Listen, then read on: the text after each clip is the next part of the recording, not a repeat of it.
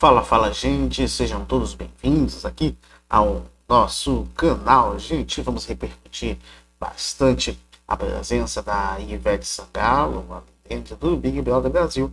Mas antes eu te convido a se inscreva no canal, ativa o sininho, deixa o seu joinha bacana.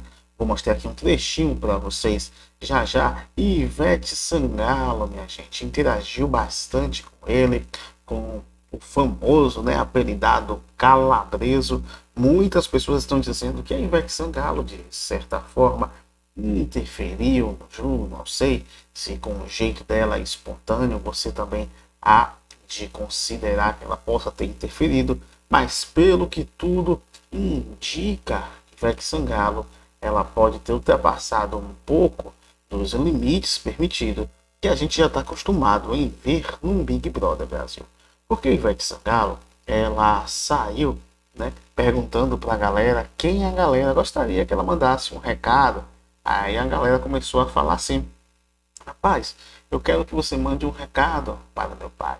Eu quero que você mande um recado, por exemplo, o Davi falou: Eu quero que você mande um recado, Ivete, para minha mãe, para a minha esposa mãe.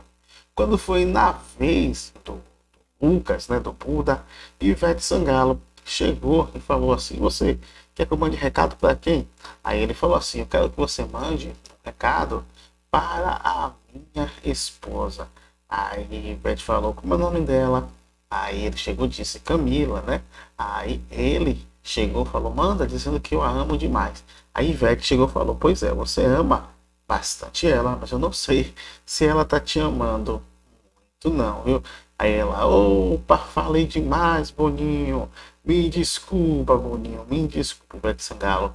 Aí, interagindo com ele, né? Também teve esse momento que Ivete Sangalo conversou com Bia. Foi mais ou menos assim a conversa, pelo que eu separei. Beatriz disse, Ivete, é assim, quem cultiva a semente do amor segue em frente e não se apavora. Ivete disse, mulher, isso não tava na lista, não.